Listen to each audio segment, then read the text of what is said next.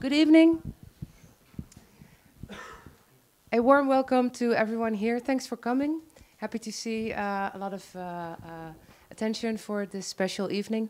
Um, on the back on this great screen, we see the future of the past.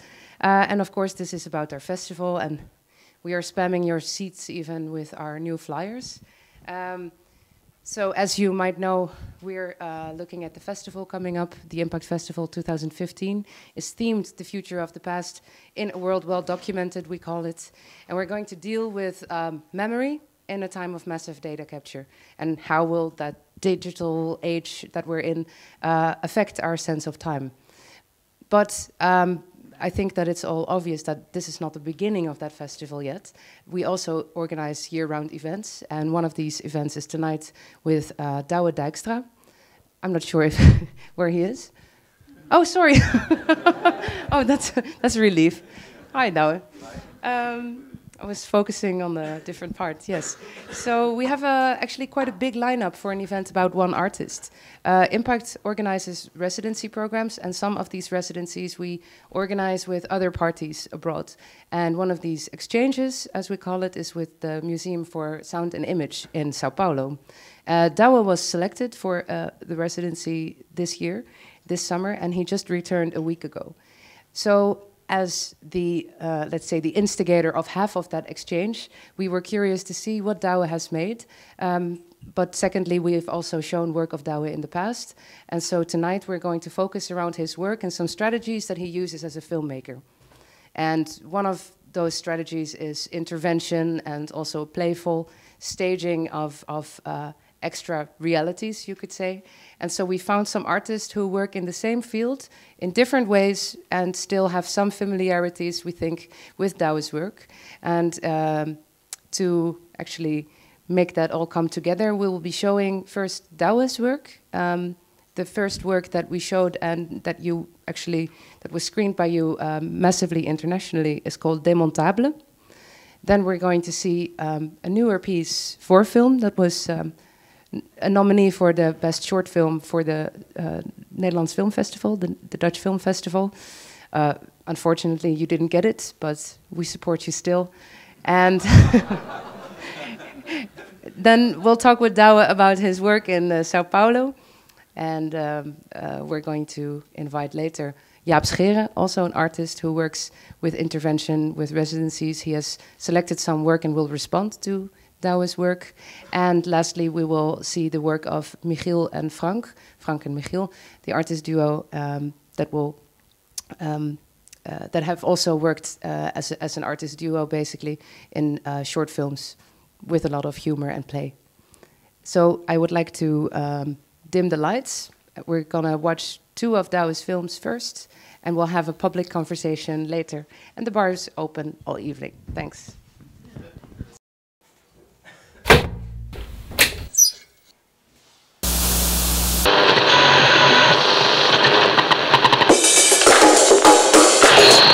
What is actually broken that we need to fix? Basic question. Is poetry addressing modern conflicts in the same way? He's only 17. It can be very confusing trying to make sense of the debates.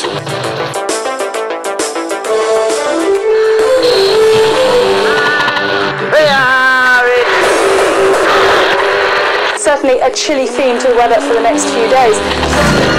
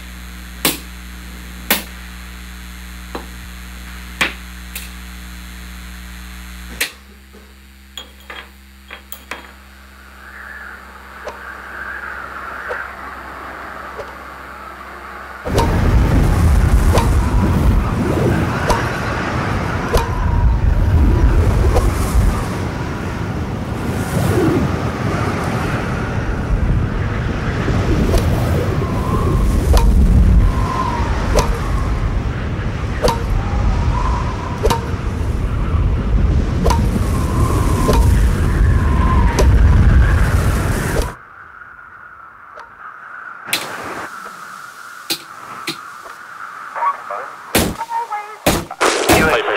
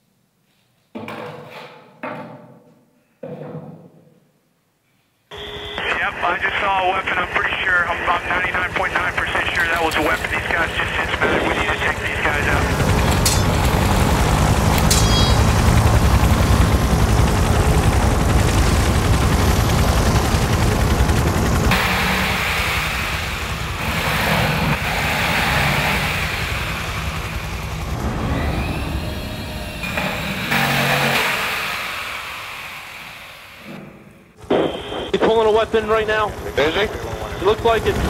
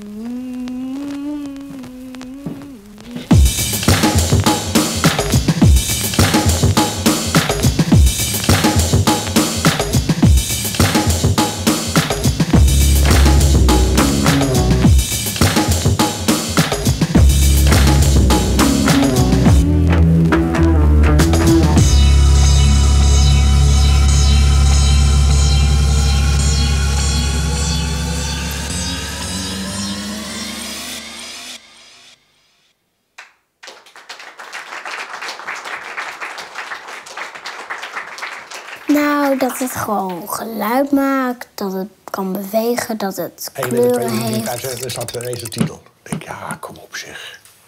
Ik begrijp dat je in beeldjes denkt, maar eh, dat kan beter. Het eerste woord schrijf je blauw, paars, blauw, paars. Doe je. En daaronder doe je blauw, rood, blauw, Het rood. is een beetje bravig, een beetje, een beetje flauw. 3D-letters, dan kan je het van alle kanten een beetje. Dan kan je. Dan zie je de voorkant bol en dan. Dat zag je een film waarin daar ineens heel duidelijk de tekst werd gezet van de titel van de film in zwart-wit. En dan begon die film te draaien. dacht ik van nou, dat is een soort uitgesprokenheid die je hebt. Maar dat, ja, dat, is- dat, ja, dat, dat is wel eens eh, meuk, vind ik vaak. Dat is gewoon heel erg leuk. Ik zit zo vooraan mogelijk. Dan heb je het gevoel alsof je helemaal alleen in die zaal zit. Het beeld is vrij autoritair naar je toe. Het is wel iets wat je samen ondergaat. Je zit allemaal in rijtjes achter elkaar. En als jij op gaat staan of het geluid maakt dat iedereen verstoort, dat is ook gewoon heel dwingend. Ja, dat vind ik heel onprettig. Als iemand eh, niet fatsoenlijk zijn chips kan opeten, dan zeg ik er wel wat van. Dus ik blijf gewoon liever thuis. Dan kan ik af en toe even op pauze drukken.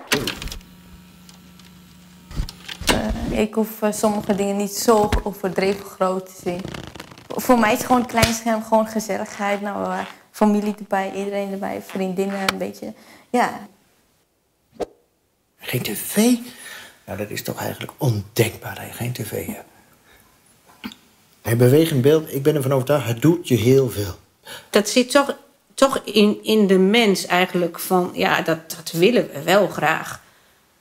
En, en toch heeft de Heer gezegd van, nee, ik wil dat je tot eer van mij leeft en tot, tot het beste voor de naaste. Kijk, wij zijn ook maar mensen die, van vlees en bloed. En we vinden ook alles mooi wat, eh, wat lelijk is, zou ik bijna zeggen. Dus het gaat er niet om dat ik het niet mooi zou vinden. Maar vanuit dan zeg van ja, zo wil ik niet leven. Daar kun je wel naar kijken.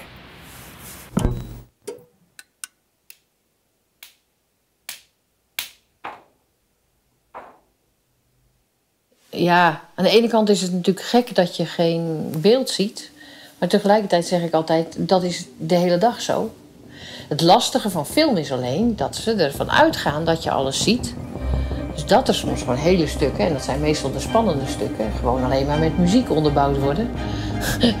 dus je hoort wel dat er iets spannends gebeurt, maar, maar wat het spannende is, daar heb je dan echt even iemand voor nodig die dan vertelt wat er gebeurt. Er zit altijd wel ergens een achtervolging in. Nou, dan hoor je alleen maar heel veel auto's achter elkaar aan racen en remmen en piepen en gillen en weet ik wat.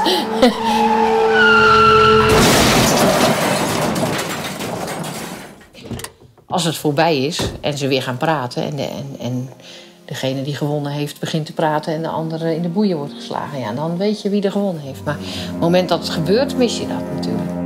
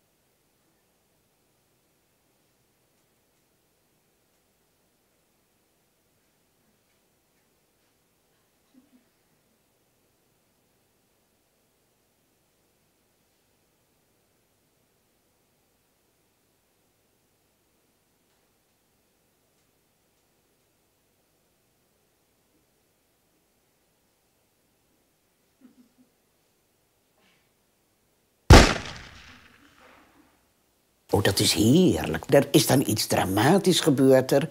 En ja, dan heb ik dikke tranen, hoor. Heerlijk. Maar eh, ja, misschien is het ook eh, een kwestie van ouder en sentimenteler worden natuurlijk.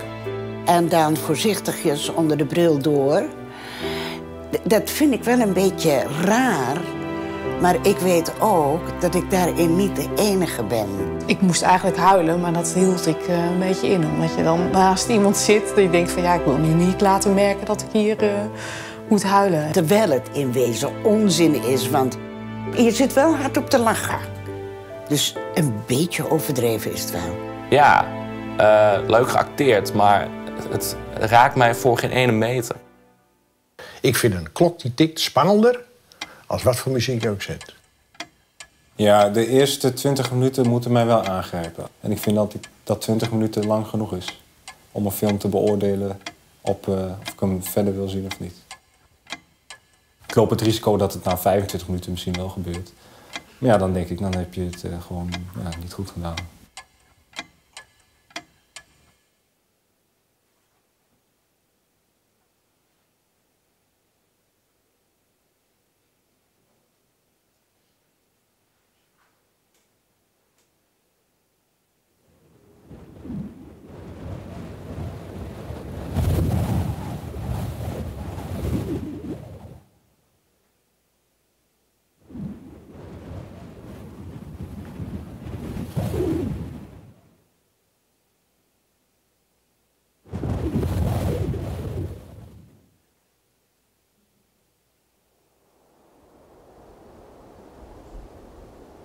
Eh, hoe vermaak je je of vermaak je je niet in zo'n huis?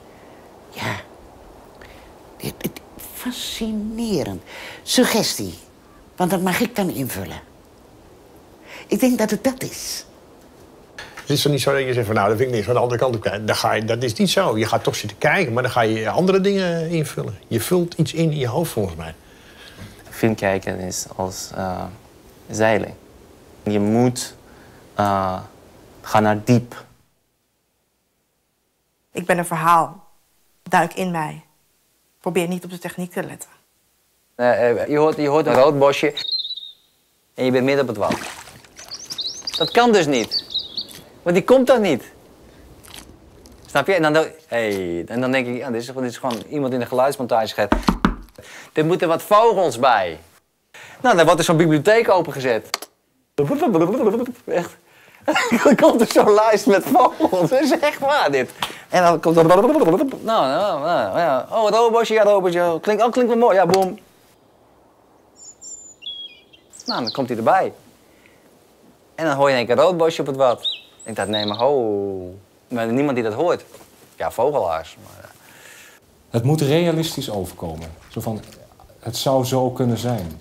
Mensen zouden zich echt zo gedragen als er een zombie-apocalyps uitbreekt. En als dat stukje realisme erin zit, dan eh, maakt dat voor mij eh, tot een goede film. Maar er kwam een stip aan. Nou, en er was een soort horizon. En heel in de verte kwam een stipje aan. En dat stipje zag je ineens dat het lampjes waren. En die stipje, het lampjes werden steeds groter. Toen bleek het een vliegtuig te zijn. Er zat geen geluid of niks in. Had iedereen in zijn greep. was dood, doodstil in die zaal. En dan komt er een enorm geraas, komt een vliegtuig overheen. En toen zag je iedereen bewegen en dan was iedereen onrustig. Dus dat maakt heel veel uit. Wat, wat geluid doet.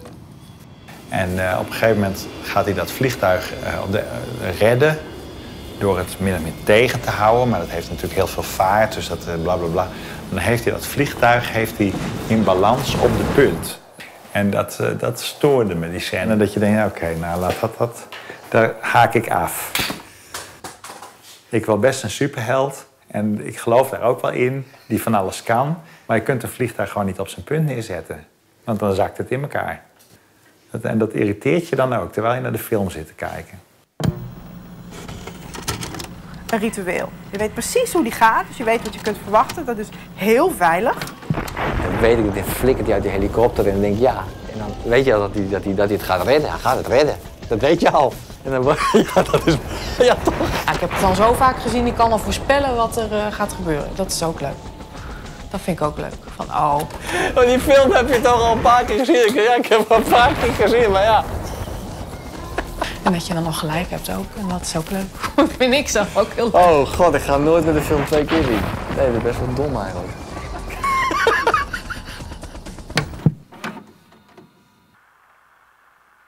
Als ik zou moeten kiezen, dan heb ik graag een afgerond verhaal. Maar ja, ik kan niet altijd kiezen, hè? Ja, eh, dan, moet, eh, dan moet wel wat op het spel staan. Dus dan moet het niet zijn van, oh, als dat nou heel erg de mist in gaat, ja, dan moet hij misschien maar eens gaan internet daten. In plaats van, ja, als dit heel erg de mist in gaat, dan ontploft deze planeet. Het ene geeft gewoon wat meer druk op de ketel dan het andere. En dan denk je, oh wauw, en dan zit je er helemaal in. En was net een budget op was of. Dan denk je van ja. En één keer in een minuut was het einde. Ik zeg, nou ja zeg. Weet je, ja, dat, dat was nog een heel verhaal te vertellen. En dan, ga- dan, ga ik niet lekker naar bed. Ah, sommige films zie ik wel allemaal ehm, letters, maar dan, dan blijf ik wel kijken, maar dan lees ik het niet. Want ik kan niet zo snel lezen. Eh, in de regel probeer ik eh, aftiteling uit te zitten. Het is wel een soort van beleefdheid jegens een maker. Ja, ik begrijp dat nooit zo goed. Dat mensen helemaal tot het eind blijven, puur voor respect voor de filmmakers. Alsof zij dan dat gaan voelen van, oh, oh, wat goed dat die mensen blijven zitten. Die weten dat toch allemaal helemaal niet. Dat zijn jongens en meisjes die reuze hun best gedaan hebben. Kom op zeg, je mag dat wel even lezen hoor. Het is ook wel interessant. Er staan altijd interessante dingen bij. Nou, de hoofdrol is gespeeld door twee verschillende honden, maar dat heb ik helemaal niet gezien.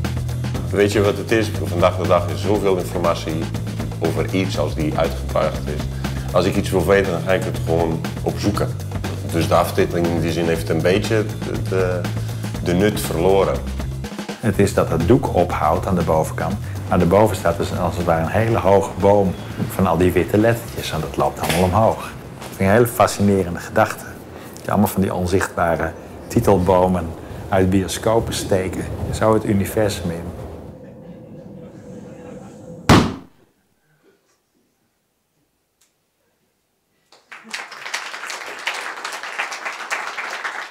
So thanks for sharing your work with us. Uh, of course, I was a little bit familiar with um, uh, the works uh, already, but it was striking to see again that it was uh, causing not only humor for me, but uh, for the entire audience, I think.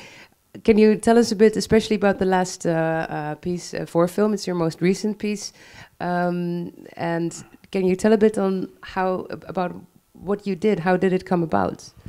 Um, yeah, well, I worked. Um, it started out as a documentary, really. So the audio, the audio is is all, you know, it's all real. It's all interviews I did with people, and that's the way I really like to work to um, to have an open uh, open process. That, that that it is like you know I'm looking for something and I I don't like or I'm not able to write a script like this and then make a film. So I, I, I had this plan to talk with people about how they how they watch films, and um, yeah, well, and then everything goes from there. It feels like the the film almost makes itself. Once you once you talk to people, you get the ideas and you get the the yeah, you know, you ha you have to look for the right sentences, of course, but it's it, it's really like uh, you know you're investigating on something. So it's it's actually quite a, like a, almost a social research or almost a anthropological research in how people appreciate what types of details or elements in film. Is that something that typifies you as a maker, or do you think that this was just a topic that interests you because it's about film? Um, no, well, it, it is something that really interests me how people watch films and because I, you know, of course, with with other filmmakers or friends that watch a lot of films, I talk about films. But in general, people don't talk that much about films, or they just describe what was in the film, like literally. And um, I really like myself to, you know, to um, give a lot of critique or just to, you know, talk trash about about a film if I think it was shitty. I have a lot of fun doing that, and I think it's it's good, you know, to express if you if you saw a movie what you didn't like, it can be more interesting than what you what you did like, for example. Mm. But it was very hard to to get critiques from people. It's very hard to people start describing what they just see, and it's not different from what you would say, what you would say from about a film. It, it was very hard to get personal um, insights on how people watch films. But that was what I was looking for, and, and in the end, I got a lot. Of, you know, that's that's the that's the, that, those are the sentences I picked. Yeah. Is there maybe some questions? Are there questions from the audience about either one of the films, Demontable or for film? Yes. Yeah, for the interview part, did you actually sit down with people and watch movies with them, or did you just interview them? Uh, did you sort of, uh, put yourself in the experience, or how does that work? No, I, uh, yeah, I just sit sit down with them and I only record the audio of course, I, I picked people for, you know, I, I, I, I approached some people that are especially film lovers, and I, I looked for someone who was blind, someone who was deaf, and also some random people, just friends. And uh, I didn't watch films with them because I, I didn't want want them to talk about specific films. That was the one rule I had in, in the interview. Don't mention actors and don't mention films. Because if you, I, like, first I didn't do that, and then the first, you know, you you ask someone about how they watch films, and then in the second sentence they have said uh, Batman too, and they they mentioned, I don't know, Leonardo DiCaprio. You know, it's it, it's very uh, that those are not in the same film, but whatever. But it's uh, so it's it's very um, yeah. But then you know, once you mention a film, then it's then we all know what they're talking about, you know, and then it's not about the subjective uh, part. So it, it was a very strict rule: don't mention, but describe. Don't mention names, but describe what you what you what was your experience. But the one that is the one the guy who talks about the airplane. Uh, that's from that's a scene from Superman four or something, and. Uh, but he was he was really a rebel. This guy, he was like, oh, I cannot mention actors and characters. So he he went on to describe like, oh, there's this film about a guy who dresses up like a bat, and he he you know he was very he tried to annoy me with with describing the obvious things in uh, in the films. Yeah. So maybe what's funny actually is the part where you start filling in the blanks because they only give you audio, except for the blind man. Yeah. Uh, sorry, the the deaf man. Uh, and the uh, entire piece that we see that we've been watching and that makes it so exciting is Yeah. not only the editing and the sound that you put into it, but you really play with setting up, and that's ex- exactly what's is also so important about Demontable. Yeah. How um, how do you work with that process? Do you actually you say that the film writes itself, but Mhm. do you have a certain type of set? Do you make um, uh, do you have like a Well, for- a for- procedure there or a process Yeah. that, that that recurs? Um, yeah, so for you know for making the actual images, uh, I work I work with green screen a lot, and I you know it and it start it starts purely functional. So I it's just you know I I want to get this image and I want to I don't want to animate it by hand because it takes too long, and uh, so I use costumes a lot. I use miniatures a lot, and uh, um, so really all of that starts with. It sounds really boring, but it's it starts like practical because it's really fast and you it's really hands on. You have, can have an idea and you can just film it in your studio, and it's all going back and forth Mm. between filming and editing really quickly. Uh, but more in the in terms of the creative um, process, process, both Demontable and 4Film are a bit similar in the way that I collect bits and pieces and then I make make the puzzle. Mhm. And Demontable started out as an installation. So first there was no short film, but I made an installation, which is very. Uh, it's not very different, but it's a very different suspense. It's a totally different edit, and it's an installation on three screens. So it's three screens that uh, show uh, the image simultaneously, and uh, it's w- about 15 minutes. So I had 15 minutes times three, so I had 45 minutes of material, which is my own material, but it was already finished. Mhm. And then I could play around with that and try like, oh, if I mix this with that, then and then I, yeah, it's really like a puzzle. Yeah. And uh, it's the same with four film. You know, you collect a lot of scenes, and then I had a lot of scenes that I really wanted to create images for, and then you link. You know, the yeah, the obvious ones are like they're both talking about an airplane, so I can connect them together, and then if I connect these scenes, then this is one block, and oh, there's a link with this, and then yeah, so in that way. That's where the film writes itself. Yeah, so of course it doesn't, you know, it doesn't do it. It's not that it writes itself, but it's always I, I always respond to um, to something that is already there, and I try to uh, interpret it my way and then make the best of it. So, yeah. That's actually a great bridge to uh, the project that you're working on right now. Yeah. Uh, you're going to show us uh, the working title is Green Screen Gringo. Green screen gringo, yes. And uh, it's Yeah. a bit telling about your process, but uh, tell us a little bit about your, your process in Sao Paulo uh, and your work there. Yeah, um, yeah. I, I, I wrote a plan for Sao Paulo, which was about mixing uh, documentary type of working, which I already tried a little bit in four film, but only with audio. But to try this in images as well, and at the same time do my mix, like visual remixing, visual effects, animation, uh, manipulating images, and um, uh, well, this but it's like a plan. You can go anywhere with with a plan like that. Yes, so And- we were in touch over the course of your stay Yeah. in Brazil, and we were planning this event and where is it headed? And I think you told me that you've switched your plan a few times actually upon arrival. Yeah. Because everything is different when you get to a new place yeah. like that. Yeah, but in the end, it's a, it's surprised. I—I was surprised how much it actually fits the plan that I originally wrote. But um, no, but I, I, I wanted to film exteriors. I wanted to film people in the city. I wanted to make something about the different realities that uh, coexist in a city like like Sao Paulo. Um, and I was planning to invite people to the studio to film them in the studio in front of a green screen, and to do like like the guy who, who talks in sign language in four film. That was really my like there there there's a connection between something that is real. This this guy, you know, is just like someone I interviewed, and I combine with my staged images like like you saw in Demontable.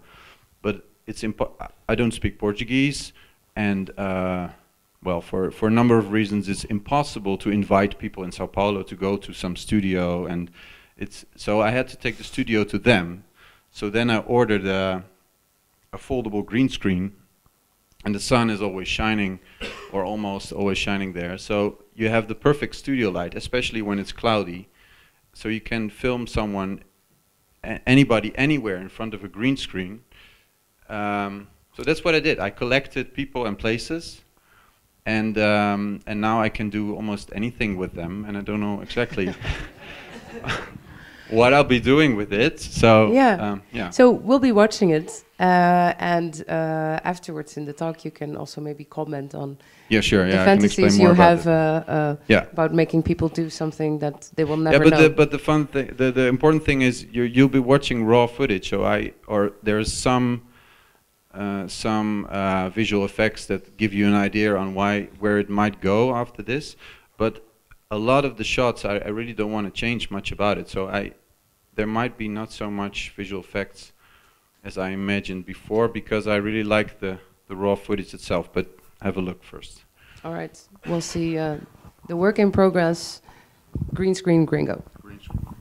Maquininhas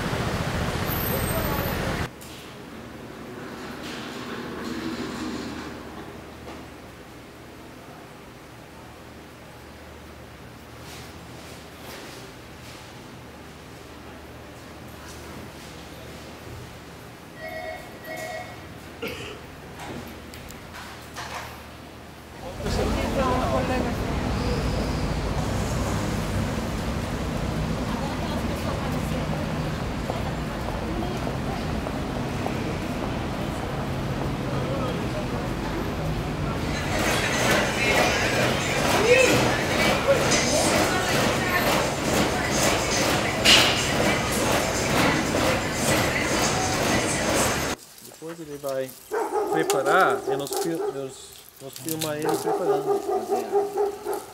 Sim.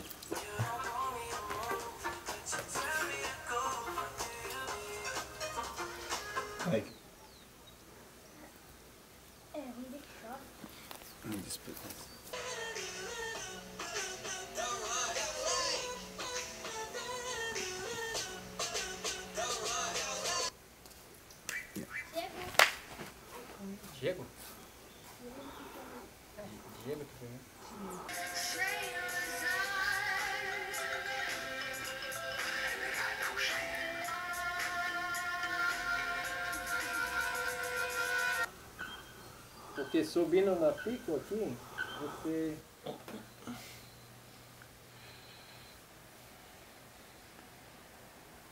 Só não falta dele. Ela é com a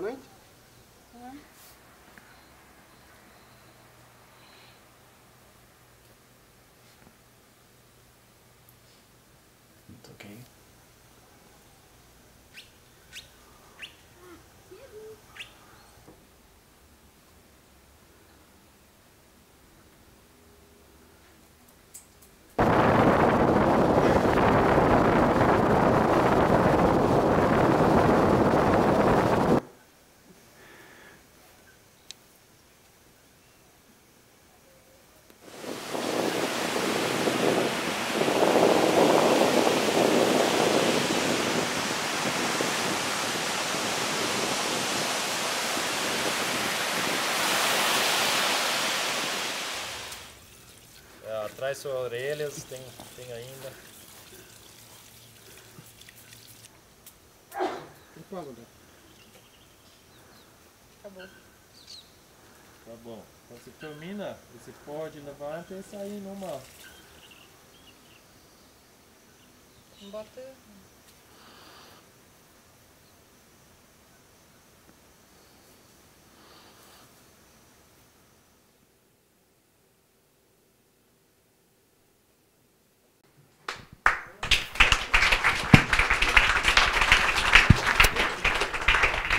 So, are there any questions uh, by the audience at this moment about this last piece? Probably a lot.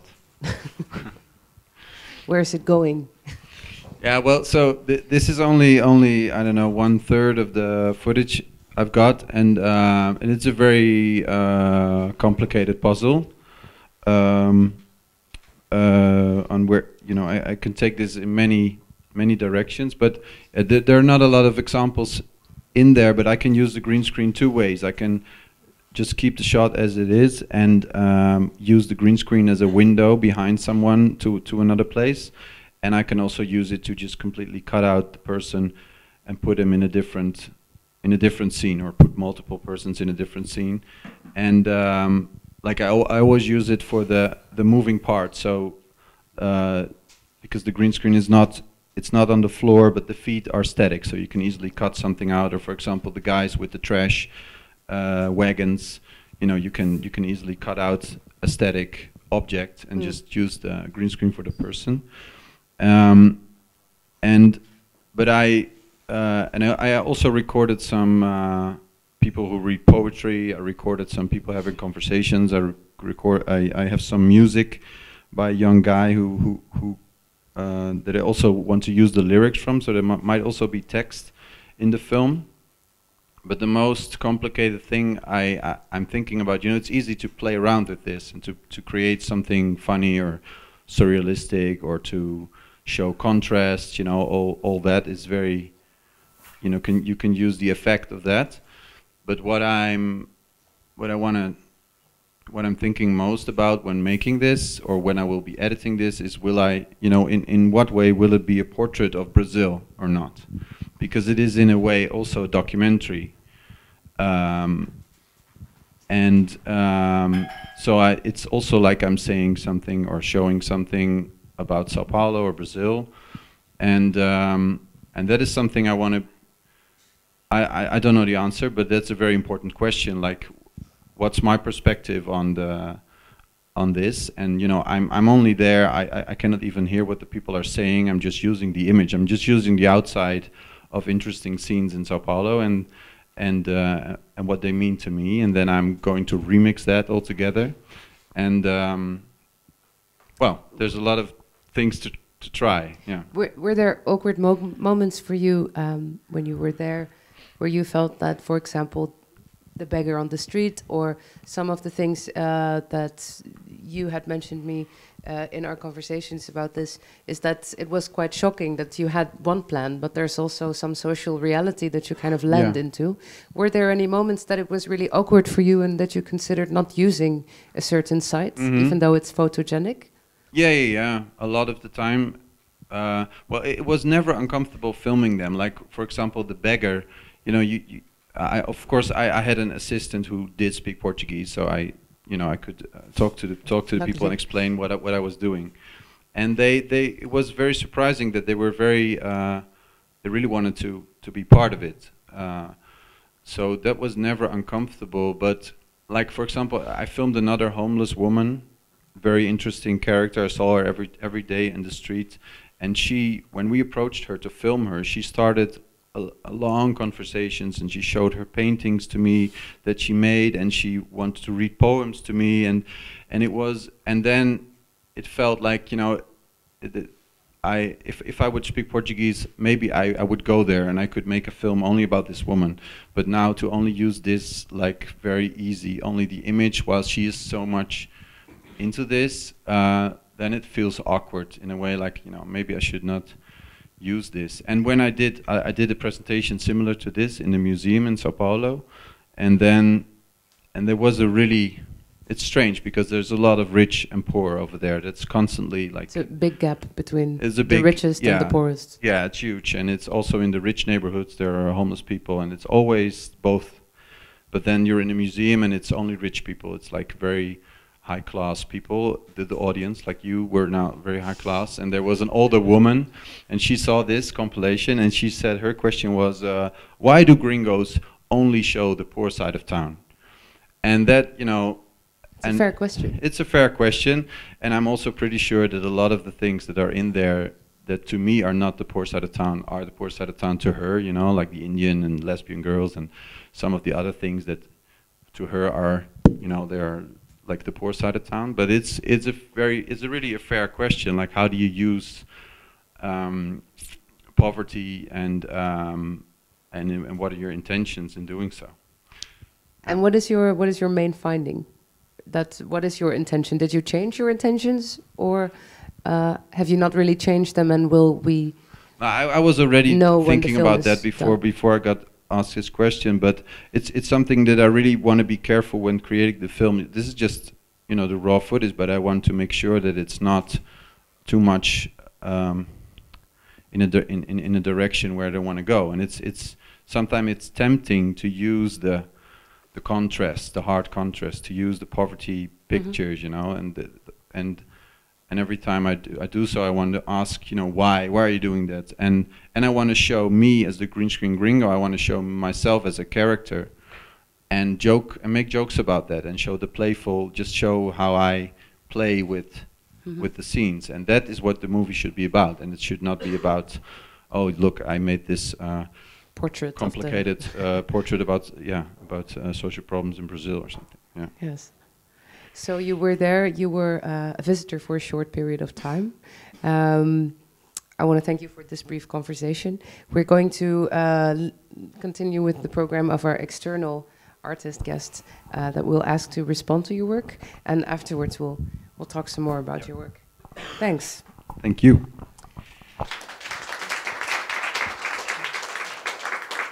I would like to invite Jaap Scheeren, who also works with uh, interventions of sorts and residencies, and he will tell a bit about his process. So I'll just uh, introduce myself with uh, some images. I think Douwe, uh, he invited me a couple of weeks ago when he was in Sao Paulo. I think, why? no, I think because we all we all we both in, intervene in images and and in uh, we try to bring Sorry. our own uh, ideas into the image. So the more work from an experience, I put it inside. So this is photography. I have a lot of slides. It's not 202, as you can see, but I'll just show loads of them. And try to. Yeah, You should do. What are you doing? Yeah, I'm trying to make. Uh, let me see. How can I? Uh-huh. So you always start with uh, some kind of fireworks. So that's it. I have to be really quick. I have to also look at the screen because mine is not showing this. Um, well, is the next. Start from the beginning. No, don't. Why not tell about one project? I'll show you many because that shows best. I always steal experience from others and mix my own ideas with uh, the experience from others. Why travel? Why not? Why I do self portraits? That's what I start with. I bite my nails because I'm nervous, as you can hear. I walk my bird every now and then. I set my uh, hair on fire every now and then and made this image for my girlfriend because I was in love. Am in love, sorry. Men are pigs. I just pretend. There was an empty billboard, so I decided to make an ad for myself. I can fly. I did, uh, well, I got drunk, I puked. People abused me after. This actually happened. Then my first residency I ever did was uh, after I made my first book. I was invited to make a work in uh, south of France, which where I was there for a festival. And the year after I could do an exhibition, but I had to do the work in 12 days. So I just had a bag full of props and loads of ideas uh, that I already had. And I went there with this bag and made loads of images. And like Douwe, just afterwards, I kind of made an edit which could show what's happening there. So this was the one. These are a few. If there's any questions, please ask. South of France, there's the water. There was this crazy guy are not crazy. He was a really nice man. But he lived at the seaside, so I, I was there just driving around within someone who could speak French. Oh, this is taking too long. I only have 10 minutes. If I, I have 113 shots. Um, uh, there was this guy with a van, and it looked very interesting. So I spoke to him, and he was like, "Yeah, well," uh, and I asked him, "Do you have a boat?" And obviously he had because he had three boats on his Volkswagen van. And then I said, "Well, can I make a picture of you because I need an image of someone in the water, and which boat do you want?" Well, the red one, I said. So the next day he arrived with this palm tree leaf, and he started to cut it and made this because I chose the Tahitian boat and there's this Tahitian boat race around an island close by. So he made this costume and went in the water, and then we created this image. Cactuses, they sting, so I tried to put cotton balls on. An exploding uh, tree. Sometimes you find things, sometimes you have to make stuff. Enjoy yourself. So this was an image about the landscape's great, but nobody really sees it anymore. I saw this guy walking in the streets with this big bed on his shoulder, and the next I couldn't. He didn't want me to take his picture, so the next day I just found some boxes, taped them. It look it actually if I explain everything, it becomes fairly flat. Blah, blah, blah.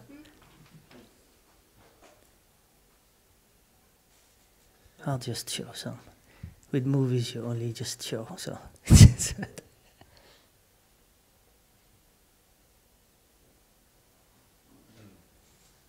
I never really manipulate any images afterwards. It's always when I, before I take the shots. Stealing, uh, well, um, I got this, uh, this is a Dutch project actually, but I just wanted to show it because uh, you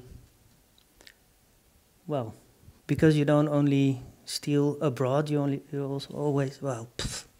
these are letters from my grandmother she wrote them to my parents who moved from Nijmegen to Vlissingen. And these were all notes about uh, her life. So after I, I read all these notes I decided to reenact make reenactments of uh, some of the things that uh, were in there. So there was a, she was at a shoe store. There was a robbery. So I asked her what, you know, what happened. What did what did the robber look like? So we, he had a scarf. He had this screwdriver. He was not a professional. She said. So we just this. She was very lonely. She missed my parents. Was one note. To, she wanted to see them to see if they were they were growing in width and length. So I found her this tree to hug course, you need the hair. She always make cutouts to send cards. The Moroccan cleaner didn't want to drink coffee during Ramadan with her. My uncle got divorced, started living with her for a few months. Morning rituals. And then I made this uh, small booklet out of. Uh,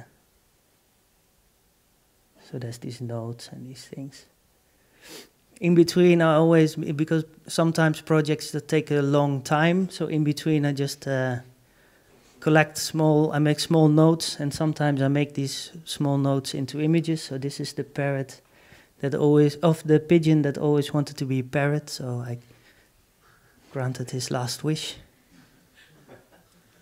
And this is the sun, the moon, and the earth discussing their next move because there was a lot of discussions about you know climate change and all of these things. a friend of mine who's a geologist said, "Well, yeah, could go this way, could it depends." So I decided to make the sun, the moon, and the earth, and then um, back to uh, another artist in residence I did in uh, Slovakia. I wrote a plan. Someone chose my plan to be the plan that could be executed. So actually, I didn't know anything about Slovakia, but I was asked to write this plan, and then I went to the library, typed in Slovakia, found these fairy tale books, and I have a big collection of Dutch fairy tale books from different regions. So I decided this was a good way to actually start this project. So I went to Slovakia with a whole list of I, re- I read all these Slovakian fairy tales, which are similar to ours. And then I went there and just shot loads of images, and this is like the Polaroid book that I kept, that I keep during travel, so I know what I did. And I always write small sentences and these things. I feel like I have to hurry a bit. And so in the end, I made this catalog and an exhibition. And these are, it's like, it's called Three, Raven, uh, Three Roses, Nine Ravens, 12 Months, which is a compilation of different fairy tale um, titles. So it's like these are some of the images that came up.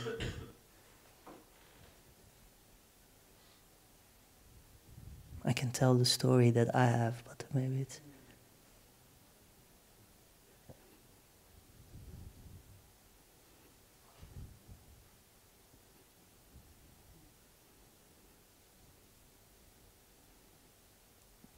Mother Nature. The guy who lost the fight. The dragon. The shepherd. The man who lives in a hobbit house. Landscape graffiti.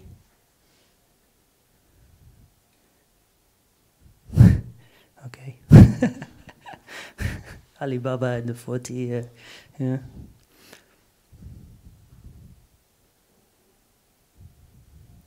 So, um, well, very quickly. Uh, then in I went to New York. There was this 400 year connection between the, the Netherlands and, uh, well, and Manhattan actually, only because we arrived there and then later we gave it to the English for Suriname. And then um, we had this big celebration that 400 years ago we gave it away. and um, they did this. They did a whole year of cultural activity. So I went there for a month, a bit longer, six weeks, and I made the work about uh, a kind of well, research is a big word. Um, I thought, how was it 400 years ago? What did we do? And then uh, the fur trade was very important to go there. So I made this image because we had the fur trade and there were a lot of beavers because it was a beaver fur that we were selling and that we were making money off. So then the only nature in the city is rooftops, or almost not all the nature, but it's quiet. So I bought this beaver and just went around different rooftops and photographed this beaver. You still have no, because it's very difficult to keep a beaver, I think. And there's Harlem Meer, and we of course have Haarlemmermeer still. There's a lot of similarities, and it's a fishing pond still. And we used to live from fishing, so you used to catch your fish. So then uh, went to Chinatown, bought a fish, got a suit, and made this image. Then I also thought, well, you wash yourself in the river because there was no, you know, that was the running water. So I went to this park in Brooklyn, climbed off a waterfall, but it was February, so there was not a lot of water. But I could, uh, well, I was the only one that would be stupid enough to do it, so I had to be in myself. Aha. And then a few years later, I went to China. okay. And I, I had no idea. It was a commission for Foam magazine. And I thought, well, I have no idea what. I've never been there, and how can I uh, say something about the country? Or. So I just decided to have all my prejudice with me and wrote everything down and had some friends who could, uh, yeah, tell me odd things. And then just went and uh, looked at only at the surface of the city of Shanghai that I was in, which is of course not China because it's a big city. Like every city, it's not. And then my English got lost. What? Yeah, yeah, exactly. So I was actually in the, uh, the, the sometimes the stories are better than the pictures because I was first apartment I was in, I was there with uh, my intern, and we both had a room, and I thought we were renting the whole apartment. But after two days, there was this family that came and who spent i- who came in the third room that was empty and that was actually her she was living in a really tiny room in Shanghai but her parents were from 2000 kilometers away so she rented this room to be with her parents so they stayed with the three of them in one room and then even 2 days later he tried to get uh, rid of us tried to get us into one room so he could rent out the other one and then we said, well, it's very stupid. We are renting this one. So then the day after, there were some workers in the morning at 8 ringing the doorbell. Then we opened the door, and, uh, and there, there was just these two workmen with a lot of uh, bricks and aluminium things. And they started to build a wall inside the apartment to make the extra room. so. Uh, Oh, so we there, we couldn't go to the balcony anymore because at the end of the day the wall was finished, so we couldn't go. So we we and we got so, we stayed somewhere else for the rest of the time. no, because we left to make pictures, and then yeah, it was very stupid indeed. Yeah, but uh, no, but we had a lot of fun. Uh, just you know, going to supermarkets, uh, you know, getting trying to trying to understand what we were looking at.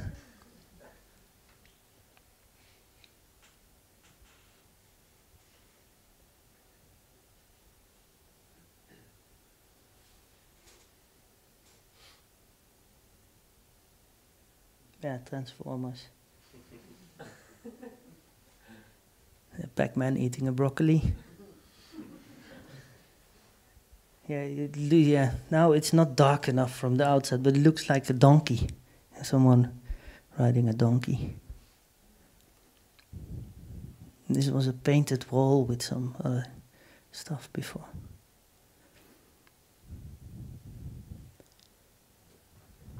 I can tell a lot more things, but I'm not sure if it's.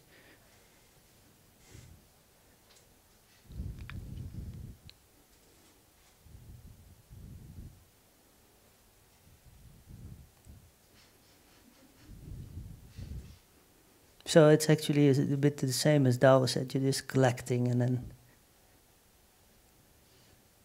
this was good for the potency. If you drink it in vodka, was the best, but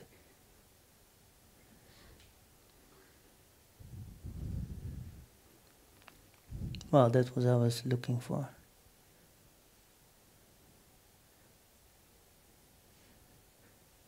I think that should be it because this is another. This is another thing.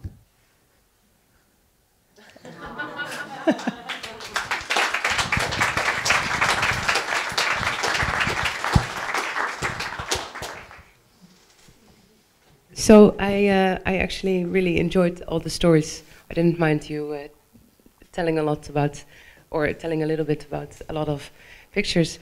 It seems that stories kind of come to you almost, or um, do you stage more than what we've just uh, understood of your work? Uh, no. Well, yeah. well, do you stage more? That's a difficult question. Do you stage more? No, it's not like I, sometimes you just encounter things and sometimes you just experience something and you just reenact it because you you are not there with your camera at that point at that precise moment but you think well this is something I should uh, uh, Create or no tell others about Yes, Yeah. share. Or Share, Yeah, yeah. yeah. And um, uh, sometimes you do it by making like I, I thought it was a very endearing story about your grandmother and reenacting these stories from her letters. How how did she, for example, respond? How do people respond to the way that you kind of make them the object of your work? Well, she she liked it very much because I never we got to see each other so often. So for her it was great. For me as well. Yeah, I know, but she's she, she's always been very o- open. So Hmm. I don't know. Yeah, most of the time the people because it's they don't feel like it's about them because it's me, uh, you know, trying to uh, put a story on them. It's something You make and an it's also- interpretation of it. Yeah, and it's never. I don't. I don't try to make fun of people or be cynical or sarcastic. Or I just really. Is it, was it ever doubted that you were? Were there ever people who said, you know, yeah, this just goes too far. I'm not going to have my portrait made by you. No, I think yeah. Well, yes. but mostly in assignments, so it's not. Yeah. but what, what, what is the what is the limit or what is the uh, I know it's a little bit of a thrill-seeking question, but what is the what is the limit or that was reached in your work? What was the most awkward or weird situation that you encountered? Uh, there's, none, there's never, for me, there's never a really weird situation. But uh, what I was referring to before was, I was for this assignment, I had to go to uh, to uh, Vienna to Erwin Wurm, this this artist, and I want, I had this idea that he would be into everything, so I wanted to hang him upside down. So I had all this equipment to hang him upside down, but then he just said no, because my friend just died, and I'm I'm really uh, scared of a blood clot or something. Oh. But I don't know what. Uh, that's a strange, Did- stupid. Did you ever get to redo it? No. I was really stressed because I had half an hour so to think of something else. uh. Are there are there maybe any questions from the audience? Um, yeah, so you just embark on like those uh, residencies without any uh, preconceived ideas or. Well, it sounds like it. Yeah, it sounds like. No, but it's more most of the time I just try to research for two months or something and just read loads of things about where I'm going to, and then always try to find someone who speaks the language, or you know, try to find your way around. And then I just have a list of things that I want to do, and you always on this list, you know, kind of where you want to go to, and then on on the way uh, towards that specific uh, On the way thing, yeah, you encounter different things. So you kind of, but you already have a mental idea about, of, or a general idea of what you are searching. So work is what happens when you're busy making other plans. Yeah, kind of, yeah. All right. I want to thank you for your contribution and uh, have a seat. We're gonna watch the last uh, few videos by Frank and Michiel that I had announced before. Thank you, Jaap. Thank you.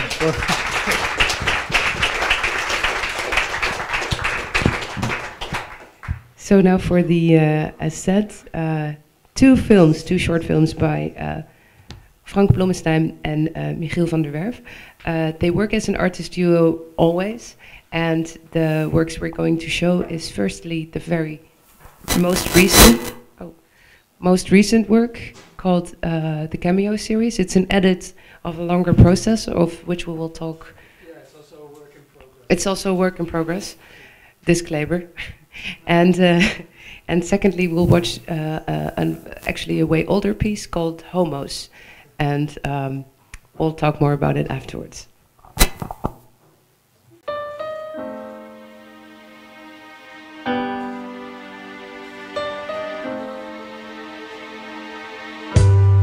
I'm running away with you. That's all I ever do. And that's all we ever mean. I forgive you everything. Meet me at the railroad bar about seven o'clock.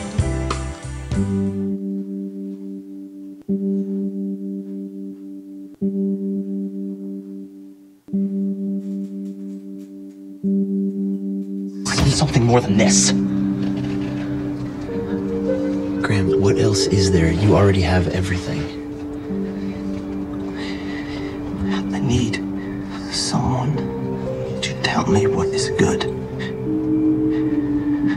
Okay, and I need someone to tell me what's bad. Because, because if nobody tells you these things, Martin, then how do you know what's good and, and what's bad? And then, and then what happens? What happens? What happens then when nobody tells you these things?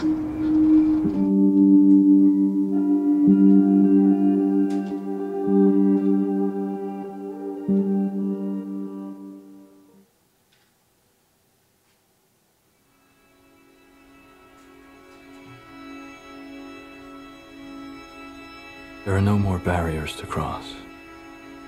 All I have in common with the uncontrollable and the insane, the vicious and the evil, all the mayhem I have caused and my utter indifference toward it, I have now surpassed.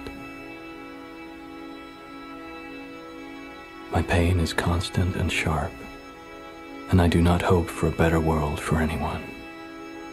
In fact, I want my pain to be inflicted on others. I want no one to escape. But even after admitting this, there is no catharsis. My punishment continues to elude me, and I gain no deeper knowledge of myself.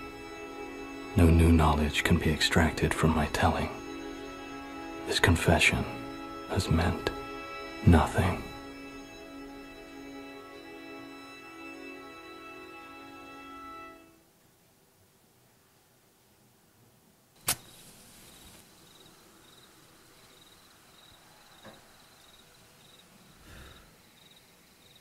It's not a journey.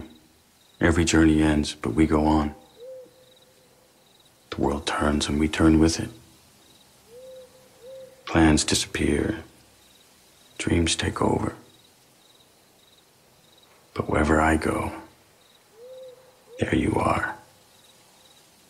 My luck, my fate, my fortune.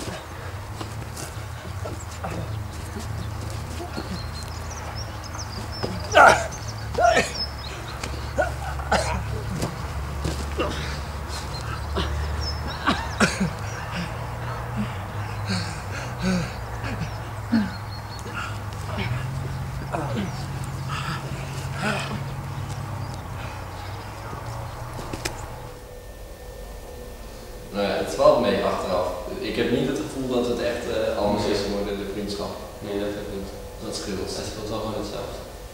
Ik ben blij dat het erop zit. Ja, dat is misschien wel nu het nog hetzelfde voelt. Die, die vreugde, die opluchting.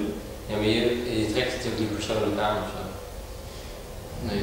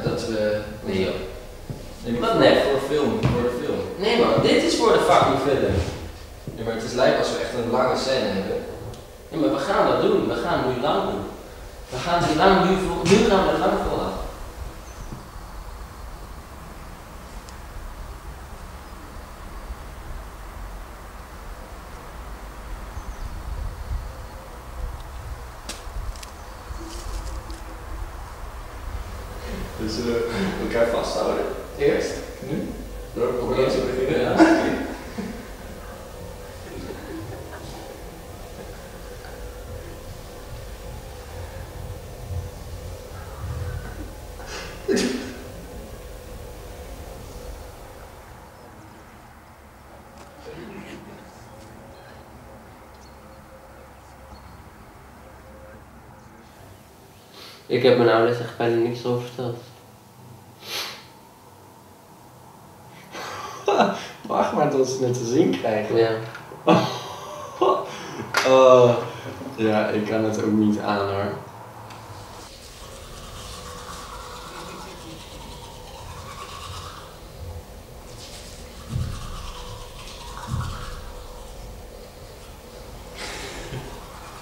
Ik had het net nog over. En de meisje die zei van ja, ik vind het ook gewoon vies als twee eh, jongens met elkaar zoenen. Volgens mij is dat best algemeen. Ja, als vrouwen zoenen is het minder vies. Mhm. 1, 2, 3.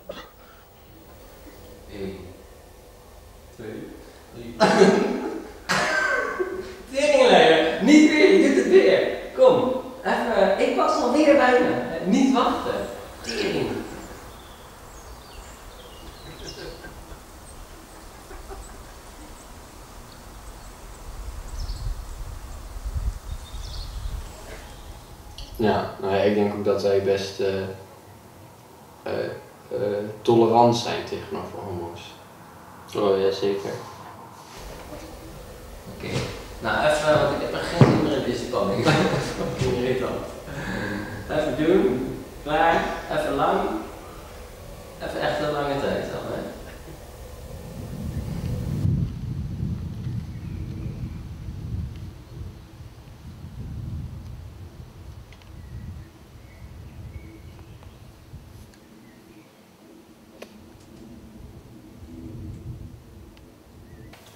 Grappig dat eh, de meest homoseksuele ervaring die ik in mijn leven heb gehad, is met jou.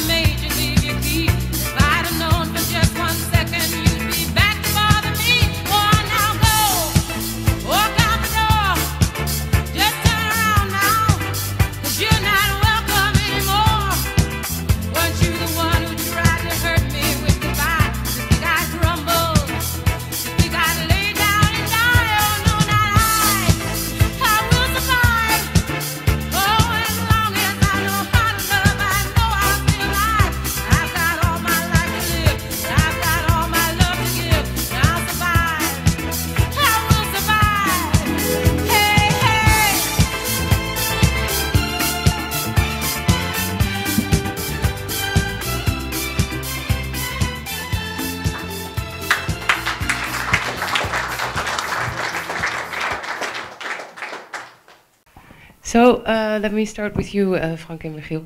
Um, uh, especially the last film, I think, um, um, was was very uh, moving and funny at the same time. Why did you try to uh, to undertake this together? What was the what was the goal of your of your film Homos? Um, well, it kind of came um, forth of the documentary we were trying to make because we did some work together for school, and then we wanted to make another documentary about this building in Arnhem. It's a really weird building, and then we started filming there, and then it was the headquarters of the COC Middengelderland, so it was this gay club with a lot of parties and stuff. So we ended So up a gay rights uh, organization, yeah, or a gay, gay club, right. maybe also Yeah, at the same but time. At the same time, it was a real. What we were doing there was. Meeting point or a meeting place. Yeah. Okay, yeah. and uh, so we find it ourselves filming at these parties and uh, being flirted with and like it was kind of uh, horrific sometimes like what they say what they say to you uh, when they are filmed and it was like the interest the most interesting part of the process was us being there kind of and how because we had this uh, how do you say image at school that we were were gay. We there were were a lot of jokes about us being gay because we lived in the same house and we were riding the same bike to school and so. Sorry. No, it was. I, I was sitting on fr- on the on the steer. yeah. So. yeah, we had just one bike often. Yeah. And you started working together. Yeah. Yeah. Also, so we wanted to embrace this idea of of being gay in a fa- in a way and working together, and th- this film made it official, or kind of. So we tried to not being gay, but working together. Yeah. Maybe both. So it was maybe was it part of something that uh, since so many people were saying this that it was something that you just needed to get out of the out Yeah. of the room? Maybe, but it was for us more like uh, uh, an image we wanted to create. You know, as being a duo artist, you want you want to create a, uh, an image, and instead of not participating in this duoship, we tried to embrace it. Mhm. Is it kind of? Does it make sense? Yeah. That it makes sense. Uh, yeah, it, it, it, it, what I liked about it, and I, I told you this actually already, uh, is that um, there's some moments where you really feel like, are you gonna be so prudish, or you know, you feel as a viewer that you're you're almost judging you guys uh, for for being a bit icky about it, and at the same time you're very honest in this editing. So I was wondering, is there also a moment where you felt like this actually changed everything? Now we can really literally do everything as an artist duo. Did it change something for your The work? kiss, you mean? The kiss or the work itself? what what Uh, was more important? The, you mean the kiss or? That's my question. Okay. um, well, I don't know, but what he said, it's like being uh, in a process of a of a documentary, for example, and um, reflecting reflecting the the um, where we're standing and what what kind of situation, and using it for ourselves. I think that's what we're also because it was our first big film in a way, our first movie, and yeah, we're trying to use that concept in in the rest of our work as well. And so was the kiss the most important thing in the end? Was it the most difficult thing? Well, it was the difficult thing, but that's the whole movie actually, the kiss, because that's why it's so real, and because it looks like okay, it, it's just a kiss, it's, but it, um, thinking about the kiss makes the hugging or uh, holding each other makes it worse or it makes it uh, heavier, and that's why it's, uh, yeah, it's all about the kiss, of course, yeah. because when I told uh, the plan to my father, uh, he he strongly uh, advised me not to do it. it would be bad for me, for my. I don't know. Maybe I don't know what what his motivations were, but It would be bad for your career or for your image, or what was his? Uh, I don't did know. you show the? Did you show the? yeah, pic- he's really uh, uh, enthusiastic about it now afterwards. But I think he wa- it was hard for him to see how I just uh, committed myself, like not for my own career, but with Michiel, so that you really uh, go forth for the rest of the your career as a duo. And he was more like, well, keep keep it yourself. Uh, I, maybe some something like it, but it's it's fun to no, because in the end, it, we begin in the movie by saying, well, pff, it didn't change that much. Afterwards, you're like, wow. But beforehand, it's really, uh, it's so uncomfortable. And it's still, if, if I'm watching it, it's, it, you, it, you feel the same sweaty palms and uh, how uncomfortable it can be. Uh, I really had uh, like thoughts about that it could affect the friendship or that we would never speak to each other again. I don't know. What I what I really like like about it is that you can really see, or that's what I think when I look at it, is that you really see the process. Like you see something that that was uh, that originated very organically, the film, Yeah. and and because it's very, um, I think it's very different from people in the audience. Like someone might have the same. Uh, uh, how do you say nerve about uh, two guys kissing and for someone else it might be just no big deal at all like you know what do you do what do you what's the problem you know? Uh, what's the big deal? Uh, but but uh, uh, aside from that suspense and and whether or not you feel it i really like that you made like the most of it like this it's a really small thing or a big thing that depends on the on the audience. But uh, apart from that all the all the other scenes you did all the staged ones and and you use and you abuse the cinematic language and really like with the with the reflective screen in the forest. Is like very that's what I also like about the work of Jaap. That's a very simple gesture that you uh, that you can make something that looks you know that you, that looks very powerful in a cinematic way. Like you you're standing there with the horse and the screen and it's but it also makes fun of it makes fun of this language as well. Like that's what I really like about the film. It's very funny Yeah, that's true. I like humor, or we like humor. It's uh, it's it's uh, it's a really good lubricant, or to to get your point across. Uh, and uh, for us, it's in art, cinema. Most of the time, is really slow, and you need this uh, the house and the tree, and, the suspense, and filling in the blanks, and the. Uh, it, it has a negative connotation with it, or I don't know. That's m- I think our personal or my personal opinion about it, and I like the humor too. That's one thing, and furthermore, I, what you said about your process, how it how it something naturally evolves, and how the film makes itself. Uh, it was really uh, uh, you recognize recognizable for for how we work. You know, you you find yourself in a situation and then you have to find a solution for a problem and then there's only one possible solution if you look at it like the right way. This is the solution and then you choose that. But i- in a, yeah so that's why it makes itself but you we it's your you make the film yourself in it but you know? That- there's a there's a funny uh, similarity between uh, all three of your work, Mm-hmm. and I'm saying all three because, as said, we consider you as as one person, uh, as artists, uh, as a duo, of course.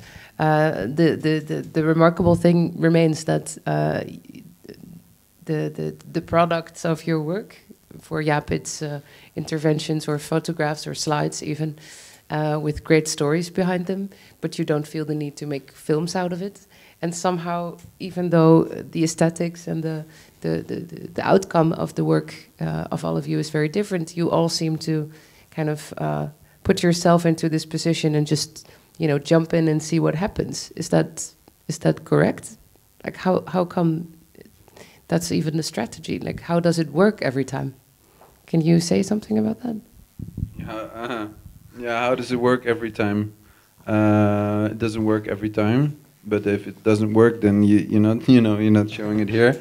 Um, no, but uh, yeah, I, I don't know if I can only speak for myself, but it's uh, like like uh, with experience, you get a little bit more confident about this process. But uh, in the end, it always works the same. Like you start confident, and then after you know on on one third, you think, oh, it's all going very well, and then on two, two thirds you think, oh, it's all crap, and is you know worst thing I've ever made, and then because you're thinking this, you you you switch mindsets. I don't know, and then in the end you're you're switching between it's it's horrible and it's and this is going to win an Oscar, and like really in in, in one day. That's, that's what I always ha ha- have, in and in the end it's. Um, it doesn't always work, but you I, I, I really I could not work any other way.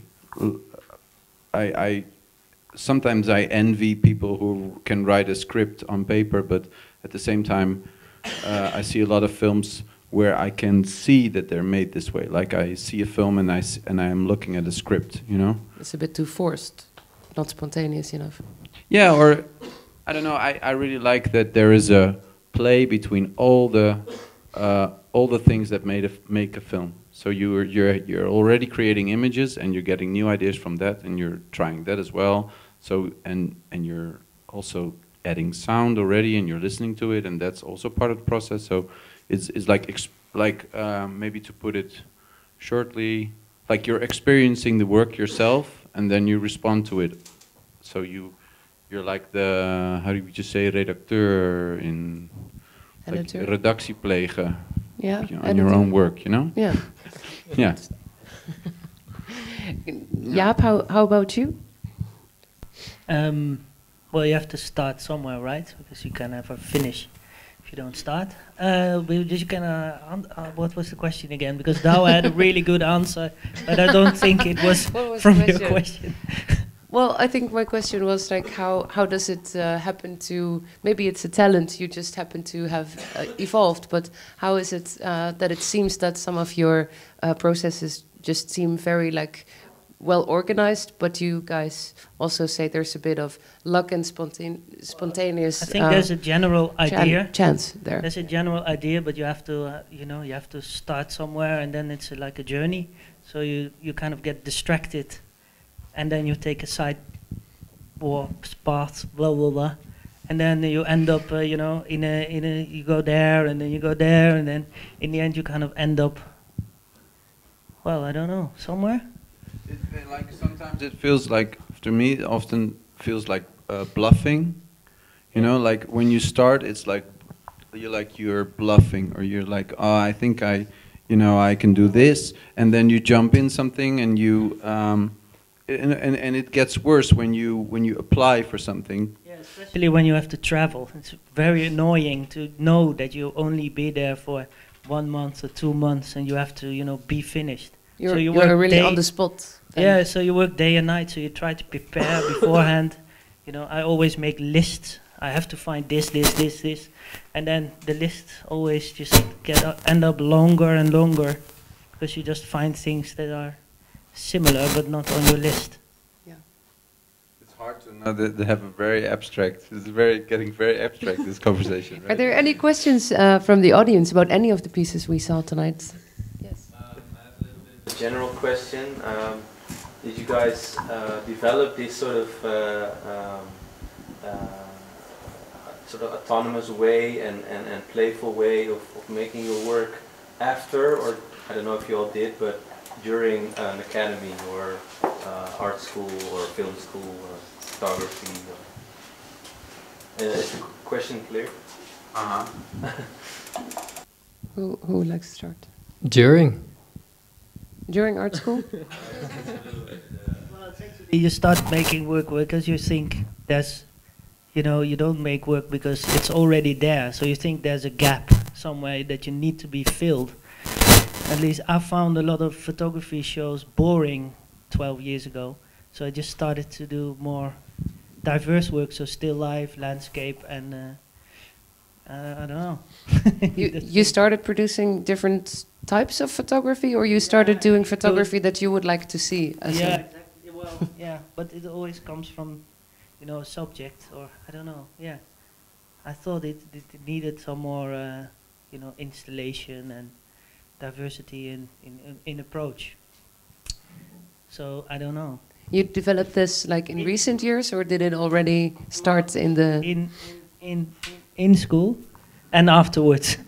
but afterwards you become more mature. So in school you're just testing everything, and then the years after, you know, when I, when I the first project I did after three years of graduation was a nice project. But now I'm much, uh, you know, I don't have to throw away as much as I did then. So then I made like a few hundred pictures, and then I used only only 50. And then nowadays I, I'm more, much more productive. More Huh? efficient, even. Efficient, yes. That's it. Not more productive, but more efficient. Yeah. I don't know. It's, yeah, it's a bit boring. Yeah, but answer. yeah, so w- if you learned it in school or where did you? I don't know. It's like the the school I went to art school and they really tried to uh, g- get rid of all the the structure that is normally there in the creative process, or like where where we where I studied like they they were really like storyboards were forbidden and it was really uh, um, sometimes a little bit Free. uh, yeah, but a little maybe sometimes even too much. Like it was uh, how do you say a little vague or something, but. Um, but all I think a lot of about a lot in art school or w- for for for what I experience is about looking how do you work, you know, and it's all about it's not like this is how you should make a film, but how do you work and and uh, I'm happy I kind of find found my own way of playing with things um, but it's very it's a very difficult question. You, you, you, cannot answer like, oh, I learned this way of method of work. I learned it like this. It's like it's very personal personal thing, I guess. Well, I don't know. Yeah, but it's no, hard to both, explain. both are good, I guess. But we feel the same. If I feel the same. maybe maybe this is a good because we had some Rome, we had some Signer clips, right? Yes. I don't know if we there's have it time. on the. We we had some insp- Now we're right in front of the screen, though. Yeah, we can uh, hide maybe, but I don't know because there, yeah, um, there was some. I, there is an artist Roman Signer. I don't know if you know about this guy, and he makes installations, uh, kinetic installations, um, and there's a film about him called Signer's Koffer, which is a documentary, and it shows him traveling around Europe, making installations in different places, and it's also very. I really like the way he talks about his work as being an artist, and there are some clips, um, but I have to think which one you should play.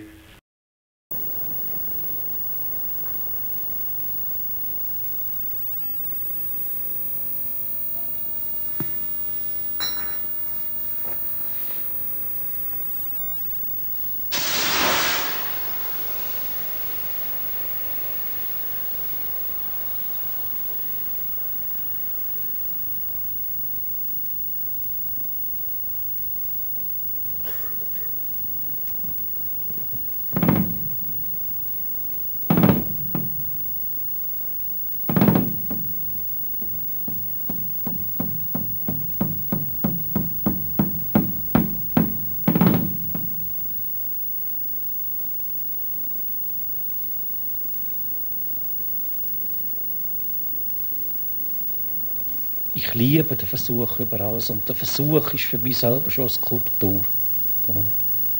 Der Versuch, auch wenn niemand zuschaut. Und für mich enorm wichtig und bereichernd und, und macht mich glücklich. Der grösste Blödsinn machen für einen anderen Menschen, aus dass er mir zuschaut. Ich habe aber total ein gutes Gefühl, ich habe geschaffen. Ganz zufrieden ins Bett. Und habe nicht das Gefühl, ich habe dem Herrgott den Tag abgestohlen, wie man so sagt. Das ist Arbeit.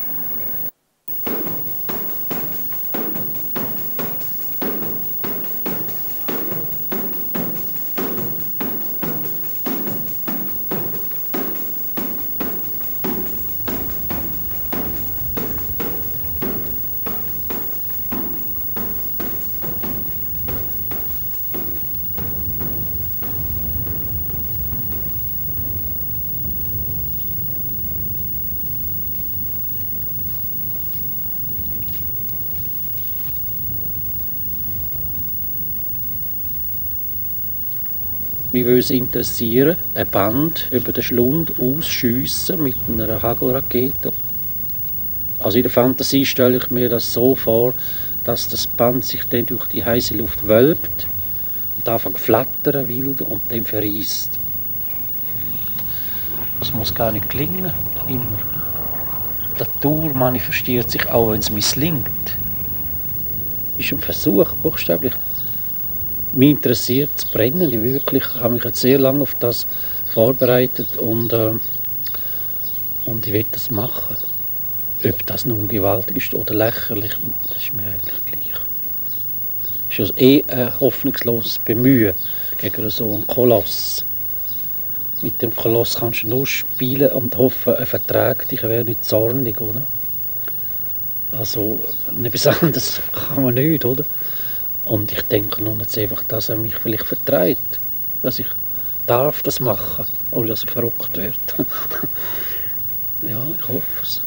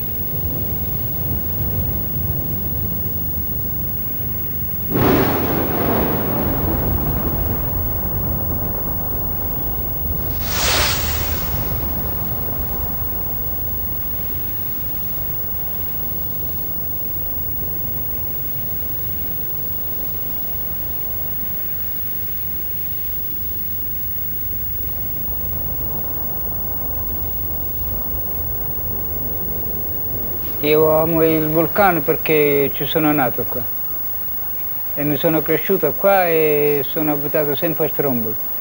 Non sono stato mai a nessuna parte, neanche per divertimento sono andato da fuori. Quindi è altro che amo il vulcano. Poi io faccio il pescatore e ci vivo qua.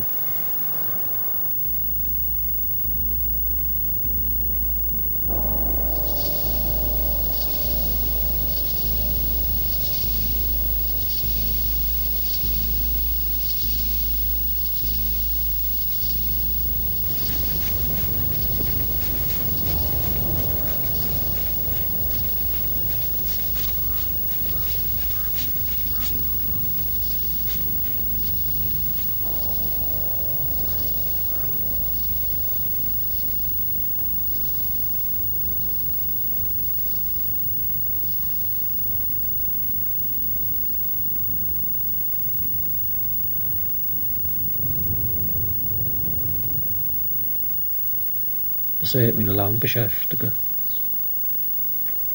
Und jetzt habe ich, äh, habe ich einfach genug. Ich mag jetzt den Vulkan nochmal anschauen. Ich ist mir so gewohnt, als ich hier ans Meer gekommen bin, ans Wasser, ans Horizontale. Und es gibt auch optische Täuschungen. Irgendwie am Anfang habe ich, wenn ich an der Stromboli liege, da ist so ein Klotz, oder? Und ich hergeschaut habe, ich gemeint, es kommt wieder eine Eruption im Kopf. Überall habe ich Sachen gesehen, explodieren, Lavafontänen, wie ein Dampfkessel, der jeden Moment kann in die Luft gehen weißt, kurz vor der Explosion.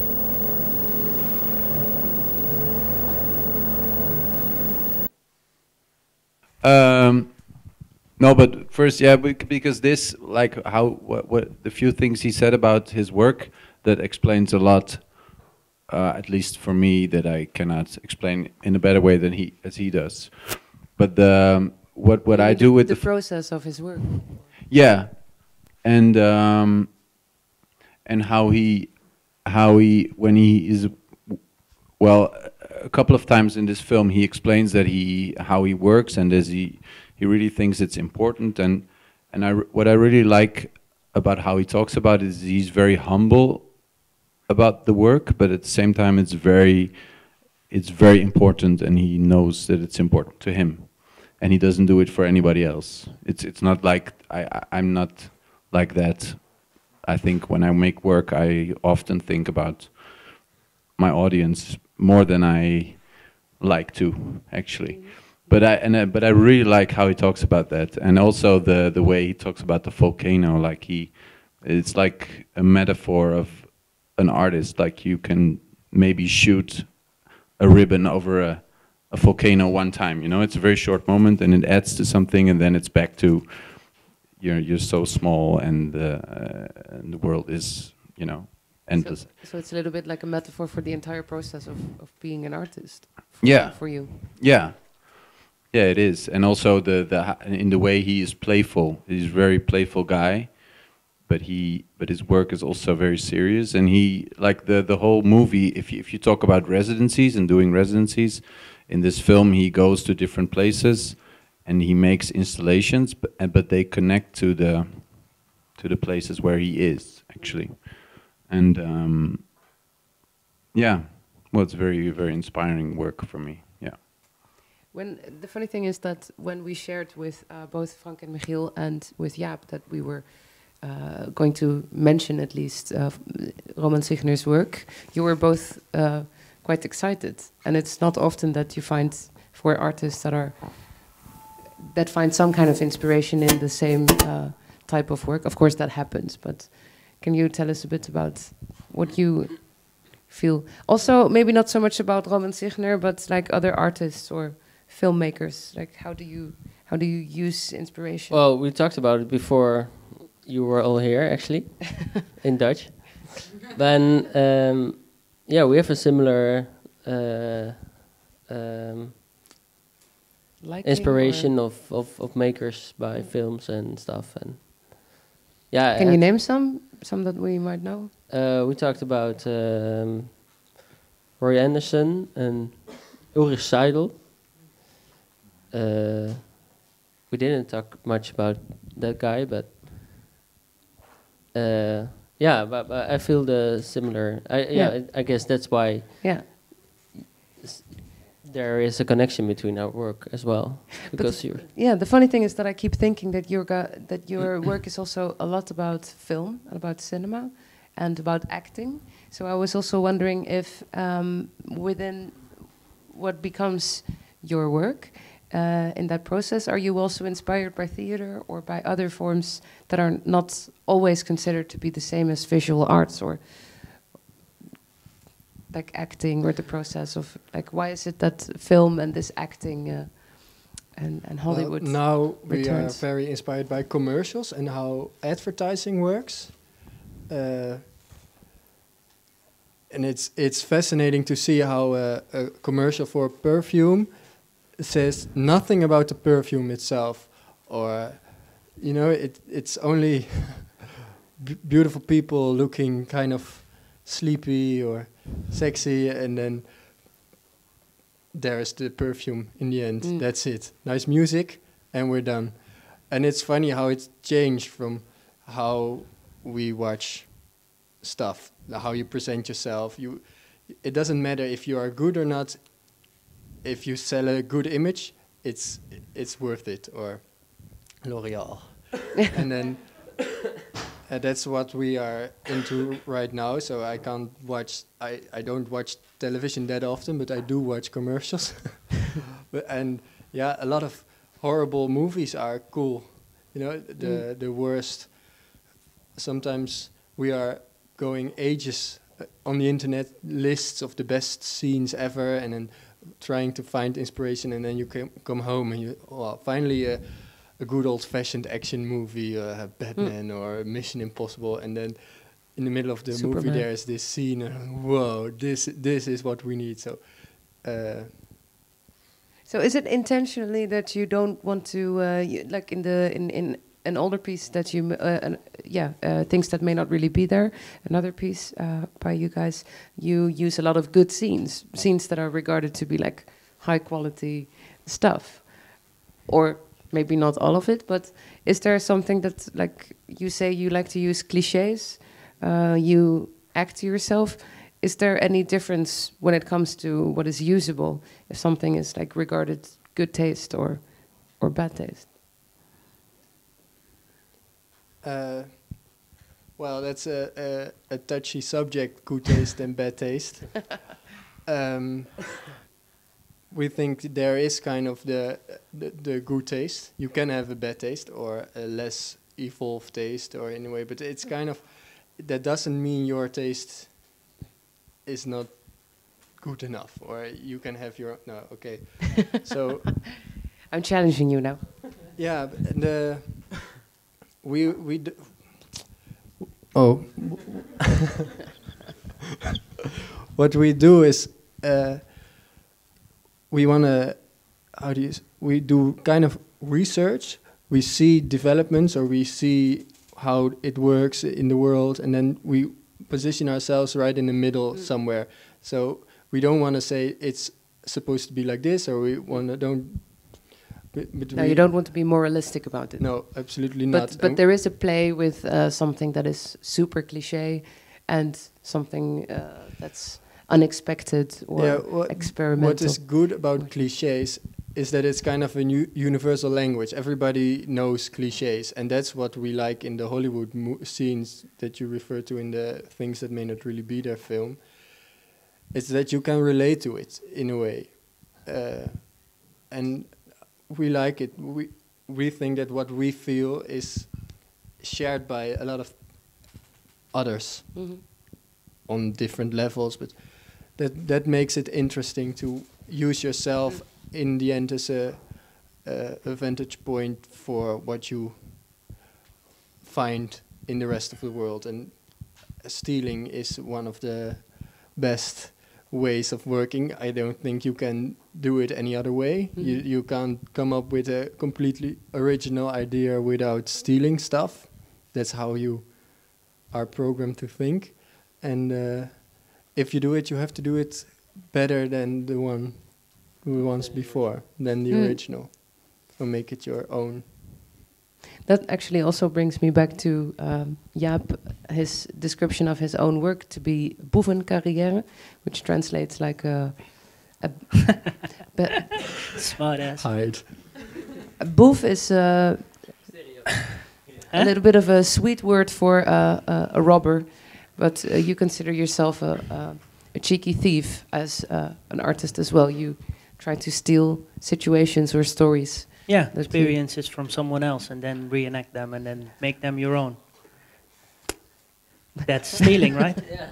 In a way. But when do you steal stories, or when are they always just always you kind of go- you know when you're when you're talking to someone as well you you kind of someone tells you a story and you immediately think of your own story related to his so you kind of that's how conversations work right so you kind of and then sometimes you uh, it's, I, I thought I was always I was bitten by a dog when I was young but I just three years ago found out that it was my friend who I was with that was bitten by a dog so it's like sometimes you know you mix or maybe I only mix. You mix uh, it sounds experiences. vaguely, it's, it sounds weirdly familiar. Yeah. Yeah. So that is uh, that's robber. That's uh, boeven. Yeah. It's stealing or, or grabbing. Or, yeah. Yeah, I don't know. Yeah. Yeah. Using. Yeah, in, in, in art they always say appropriating, but I think in the guys uh, in in your guys' work, um, a lot of the things are very. It's not so much found footage, of course. It's very well selected, and for your scenes or the the places that you intervene, it's also very. It's not a coincidence that you end up uh, making a project about your grandmother or so in, in that sense, I'm kind of thinking out loud, but uh, I think it's interesting to see that those strategies of using existing material, be it an idea or a film or uh, uh, in in Douwe's case, uh, um, a lot of you know others other people's stories as well, is uh, such a fruitful thing that can carry a lot of different forms. Maybe Uh, some final, yeah, some final. Douwe's. Away. We can't. Yeah. Sorry. But you were talking about uh, talent before, in a way. But I guess stealing is also being good in a bad situation, sort of. Mm. Uh, it was it was way back, but he was uh, telling why we were in the choose the form uh, for playing in a way or Mhm. developing and in a situation do the work and just look where where it's where it goes to. Mhm. And I guess that's for us. I think in a way the yeah being trying to be good in a bad situation. Yeah, that was. So maybe we maybe we have a, a last note from the audience. I see a question in the back. Um, I have a question about your Homo film. Um, I don't know if maybe I have a specific reading of the film or maybe if I missed the point of the film entirely. But is it about decolonizing masculinities, maybe your own masculinities or masculinities in general? Or is it a representation of cisgendered trivialization of homosexuality in film and media? I think that's just something on my mind for the first 10 or 20 minutes. Sorry, I didn't hear the last. The last part. Can you repeat the last part of your question? Okay, so is it a, a an attempt to decolonize masculinities, your own or masculinity in general, or is it, I don't know, representing the trivialization of cisgendered ideas of homosexuality in film? Like, I didn't really understand what you were getting at, basically. I found it quite trivial. Oh. I understood the comedy that you're going for, but think I can translate for you. did, did you just, was there something more behind it, or was it just What that you was the guys...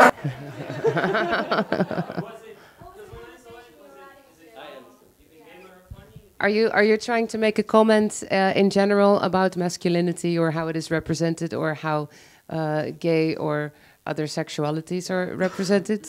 I think that maybe. Uh, well, no. Um, it's it's not like we want to make a stand for or against homosexuality, and it is in a way like uh, experience for ourselves. It was uh, uh, very important the film for the way we work right now. So um, that's what it meant to us, and then this is kind of the criticisms we got uh, more. You know the what. Uh, What are you getting at? What are what are we getting at? And it's just a kiss, and is it that hard? And so um, it be, it began. It came about uh, that it was fun to for us to do the film because we were in those scenes there in, in the parties and people were saying to you like uh, let let me suck your dick out of your pants and stuff it it was really uh, straightforward and then we were like what do we do with this material that we were shooting there and uh, we thought it would be really funny to let other people like bodybuilders or people who were kind of scary for those uh, parties or the whole gay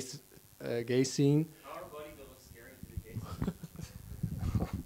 Yeah, you you if you are talking to us, you have to be uh, uh, hoe zeg je dat? Op je gemak. You have to At ease. At ease with uh, generalizations. We we are quite honest. That's also what I was. I wanted to say about the we work in a. Uh, this playful and we just come about all the the thing we work. We are just kind of too honest in how we talk about our work. We are Mhm. uh, rel- um, relativeren onszelf. Yeah, you put it into perspective somehow. Yeah, we, and that's uh, makes us like oh they just go there and do stuff and then it's funny and then but yeah So it, it has been misunderstood or, or interpreted to be to